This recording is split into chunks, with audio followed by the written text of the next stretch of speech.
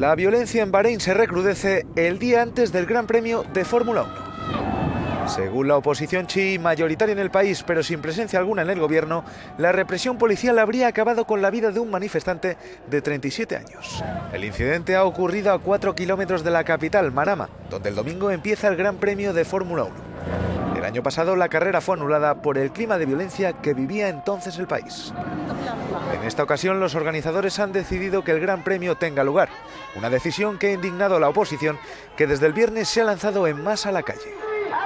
El régimen suní ha contraatacado movilizando a un gran número de policías e impidiendo la presencia en el país de periodistas no deportivos.